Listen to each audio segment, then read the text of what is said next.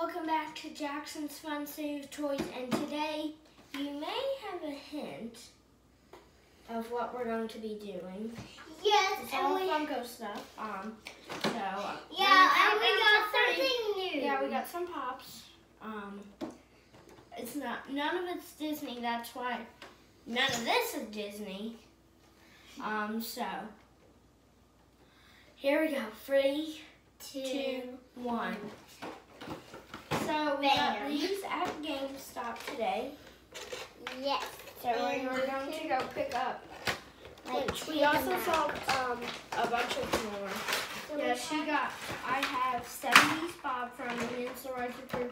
She has Wonder Woman, Golden Armor Flying from WW84 Wonder Woman. Pop Heroes, Pop Movies. So that's cool. It shows to the camera. Um, she's flying. I really like that pop. She's really heavy. Okay, now my pop is really cool. Uh, Cause there's this she one doesn't come. part. Her um, her um helmet doesn't come off because it's But- glued on. Bob's head, hair, wig comes off. He's a really heavy character. Yeah, he's Um, a really heavy kid. That's there for right now. He's I'm gonna the on this.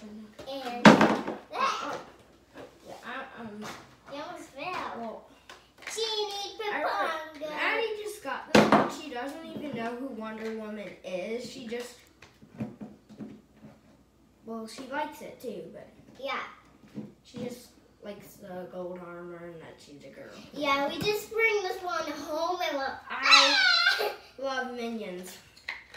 I. So we were going We saw a bunch more pops, and we saw this one. We went up to Spirit Halloween before GameStop, which we were going to pick up a Target order. And we went into Spirit Halloween, um, and we saw the Sanderson sisters pop. They were like around the cauldron. And then we saw Pop Heads, which I've never seen before in real life. Um, so So we got these from GameStop. He's all bald. It feels really weird on the top. Yeah, it feels really like Well, just Cassian. Well, we have to. And bam, he takes his. Well, thank you for watching this episode of Jackson's Fun Save Toy, and we'll see you again. Bye. Bye. And your head runs up.